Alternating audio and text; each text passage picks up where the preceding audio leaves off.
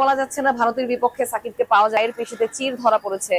তবে বিসিবি কিন্তু ব্যাপারটি এখনও লুকিয়ে যাচ্ছেন। তারা কিন্তু সাকিবের ইনজুরি নিয়ে এখনও বিস্তারিত কোনো কিছুই খোলাসা করেনি। তবে এই ধরনের ইনজুরিতে যদি গ্রেড ওয়ান ইনজুরি হয়ে থাকে, তাহলে কিন্তু এক সপ্তাহের জন্য সাকিবকে মাঠের বাইরে থাকতে হবে। আর গ্রেড টু ইনজুরি হলে একদম বিশ্বকাপ থেকে ছিটকে যেতে হবে সাকিবকে।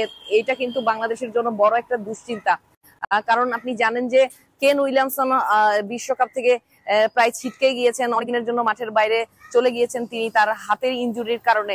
তবে কেন উইলিয়ামসন ছাড়া কিন্তু নিউজিল্যান্ড আগেই দুটো ম্যাচ দাপটের সাথে জিতেছে। তারা বিশ্ব চ্যাম্পিয়ন ইংল্যান্ডকে হারিয়েছে কেন উইলিয়ামসনকে ছাড়াই। তবে এরকম আসলে সাকিবকে ছাড়া বাংলাদেশ কতটুকু ভালো করবে এটা একটা সন্দেহ থেকে